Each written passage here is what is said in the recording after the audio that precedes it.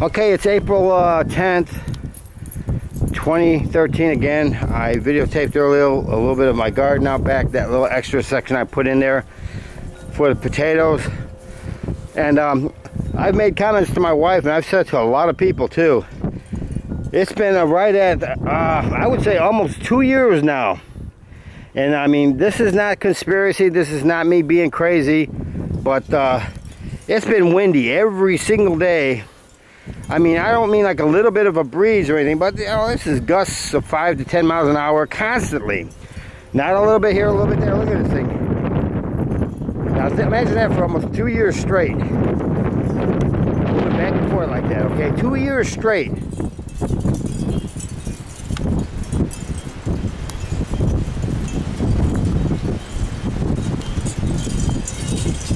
You can hear the wind, I guess. I don't know if this is a very brand new camera. I bought it yesterday.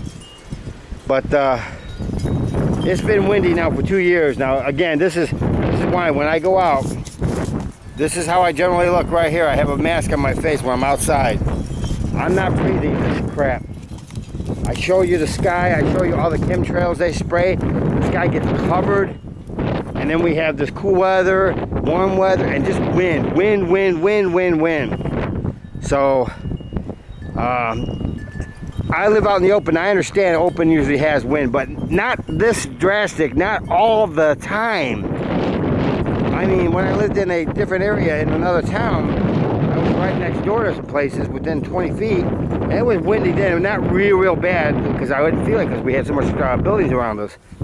But for going on, I would say probably close to three and a half years is when the wind uh, was a little bit more uh, noticeable last last two years. And then I thought to myself about Fukushima and how that's been going on. And your uh, media in the United States of America, the corporation, the one that you live in, they haven't said shit to you about that. They don't tell you about the radiation. They don't tell you about all the deaths over there since that uh, eruption. It was a nuclear plant. The eruption was 10 times worse than Chernobyl when everybody panicked about that. Chernobyl is still dead. Everything around Chernobyl is dead. What do you think about Fukushima? You know, the the, the coast, uh, the tides, the uh, the what you call it, the jet streams and everything. It comes right over the west coast out there. There's all kinds of cancer out in, in, in uh, California. The fish are all deformed, and they talk about uh, Pacific per uh, whatever salmon and stuff like that. I wouldn't eat that shit if you paid me to.